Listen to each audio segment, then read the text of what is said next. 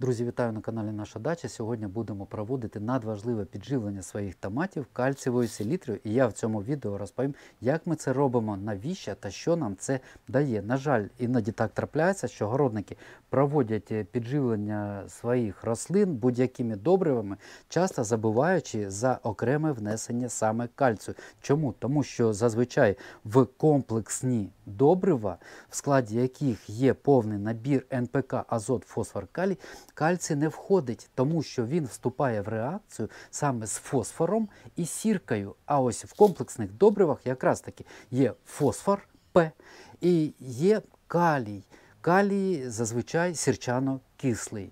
Е, Так що кальцій треба вносити окремо, але городник проводить підживлення, забуваючи, що без кальцію стінка клітини на рослині не буде міцною, не буде потужною. І це може потім призвести до того, що на плодах томатів, на плодах перцю солодкого буде з'являтися хвороба верхівківа гниль. Вона не інфекційна, вона не передається від рослини до рослини, але вона виникає по двох причинах: це е, замала кількість кальцію для рослини, і по-друге, це погане вентилювання в теплиці, в якої рослини вирощуються, або між рослинами, якщо це рослина відкритого ґрунту. Як це пов'язано? Справа в тому, що кальцій кореневою системою з землі може подаватися тільки разом з водичкою, яку зачіпляє коренева система, подає, проштовхує по стеблу, і за рахунок цього кальцій потрапляє в рослину. Але якщо рослини при настанні спеки уповільнюють дихання, тобто великі рослини в обмеженому об'ємі повітря, спека приходить, вони починають швидше дихати для того, щоб охолодитися. І ось накопичується надмірна кількість ось цих е, часток вологи в повітрі підвішеному. е, Що рослини уповільнюють оці процеси дихання, і відповідно Якщо рослина не буде випаровувати якусь кількість вологи зсередини себе, коріння не може подати додаткову кількість вологи з землі, щоб замістити. Е, Корінь може подати тільки вологу на заміщення вологи, яку лист випаровує. А якщо він не випаровує, то і коріння не подає. Тобто, якщо буде надмірна вологість е, повітря в теплиці, скільки кальцію ми не будемо давати під корінь, корінь її ось. Ось цей кальцій в рослину не подасть. Тому пов'язано все, друзі, вентилюємо і проводимо кальцієве підживлення. Тільки тоді буде ефект, і будуть у вас е, здорові рослини, вони будуть гарно розвиватися. Е, Не просто кальцієм провели і все. Можна також проводити, звичайно, е, по листу обробки тією сам- самою кальцієвою селітрою. У мене в руках кальциніт, це добриво відомої європейської фірми, якщо я не помиляюсь, норвезькою.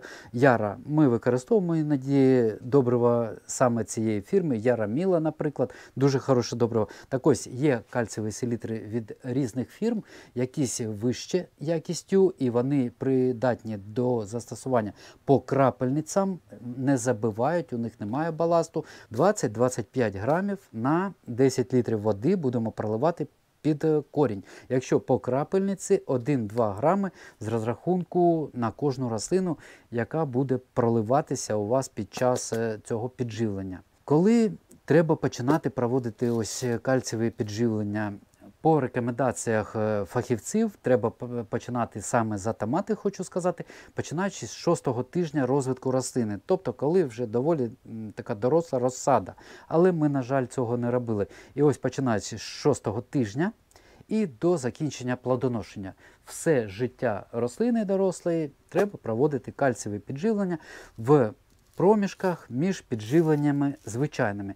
Колись я спілкувався з агрономами, вони проводять кожен тиждень. Ми цього, звісно, робити не будемо, тому що е, проводимо підживлення по мінімуму. Взагалі ми по мінімуму використовуємо і норми кількості, і е, кратність е, цих підживлень проводимо по мінімуму. Тому хоча б раз на 10-15 днів треба проводити підживлення кальцієвою селітрою. Особливо це важливо зараз, коли рослини такі доволі вже великі, і коли справа вже впритул наближається до плодоношення. Дивіться, вже багато плодів, і відповідно ці плоди будуть збільшуватись, і потреба в кальцію, в тому числі, буде зростати. І давайте ще подивимось на саму рослину. Я колись в своїх відео вже ну, в минулому за томати розповідав, що тут дуже важливо, друзі, щоб було ось цей баланс і генеративний розвиток рослини, тобто наповнення плодів, за які відповідає калій, е, ну, в цілому, так, е, в переважної більшості. Але дуже важливо, щоб рослина не була потоншеною, занадто потоншеною доверху. Бачите, вона потоншена. Вже це погано для верхніх китиць, які повинні потім наповнюватися так само, як наповнюються зараз. Ну, ось четверта китиця, ось п'ята, шоста. Там вже проблеми такі намічаються. Е, Цього не, не можна допускати. Тому кальцева кальцієва селітра зараз е, дуже-дуже підійде. 26% е, в кальцієвій селітрі, яку ми будемо застосовувати кальцію, і 15% азоту. І от саме азот буде сприяти збільшенню листа стеблового апарату. Калію я бачу достатньо, плоди наливаються нормально.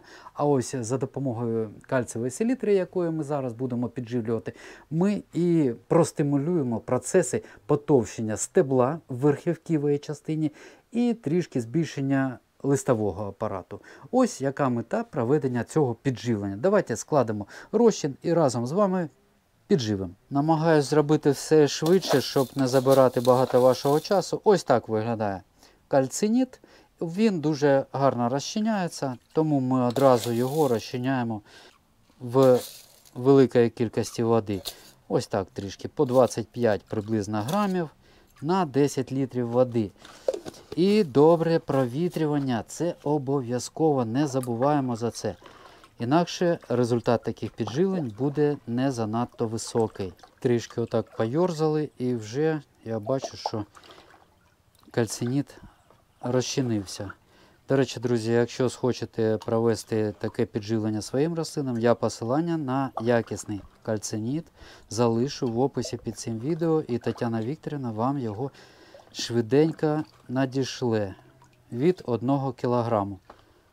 Годинку тому ми провели підживлення цим рослинкам звичайною водичкою, трішки зволожили ґрунт. І зараз даємо ось по такому ковшику. Тут е, ну, трішки більше, ніж літр. Проведемо сьогодні таке підживлення. Днів через 10 повторимо його. І з такою регулярністю будемо намагатися не забувати проводити такі підживлення.